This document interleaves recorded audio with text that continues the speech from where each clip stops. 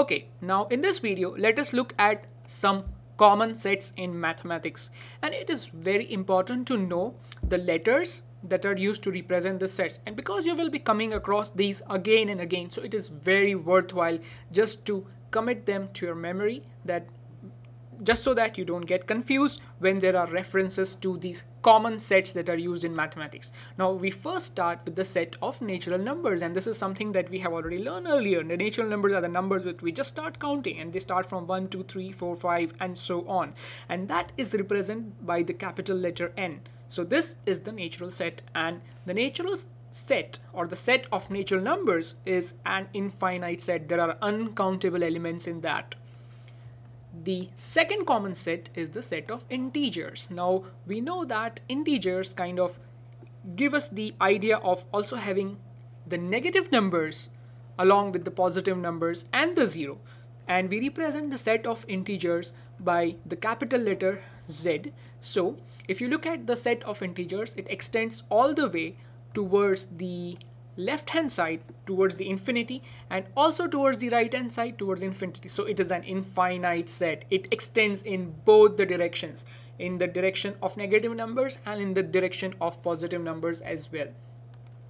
The third set is the set of rational numbers. Now if you recollect uh, the rational numbers are those numbers which have the form 7 by 5 or 2 by 3 which is kind of equivalent to the fractions and the ratios that we have learned. So to put it in mathematics or in, in set theory we would use the letter q comprises q is the set of rational numbers is comprised of all the, the, the elements x where x is in the form of p by q okay? And this is kind of just describing how a rational number is represented so where P and Q belong to Z. Now remember that these two could be integers. So I am just using Z here, the Z, which is a set of integers, and Q must not be equal to zero. This is just kind of ensuring that we are defining a rational number.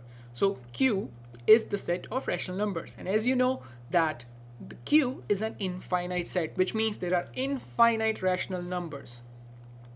Let us look at the next common set, that is the rational numbers.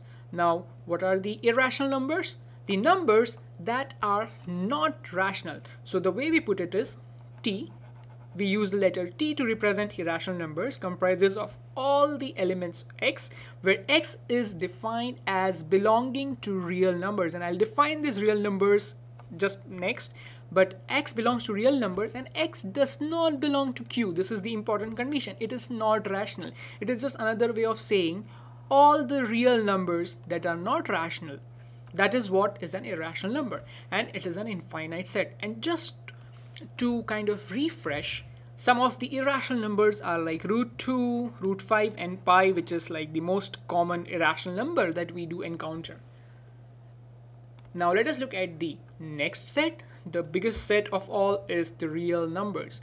And what? how do you define a real set of real numbers? So we have R equals to all elements x where x is either a rational number or it is an irrational number. So essentially what I'm saying is the set of real numbers consists of all the rational and the irrational numbers. So this was about the common sets. Now let us look just look at some few relationships between the common sets.